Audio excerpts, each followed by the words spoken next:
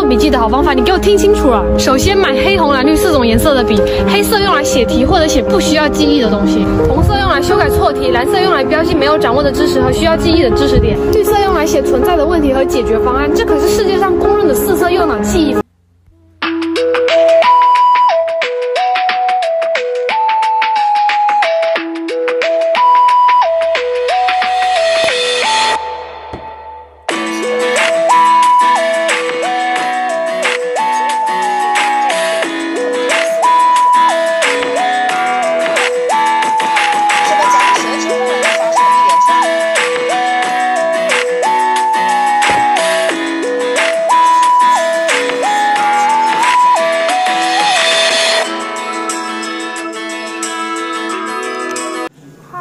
或许关在。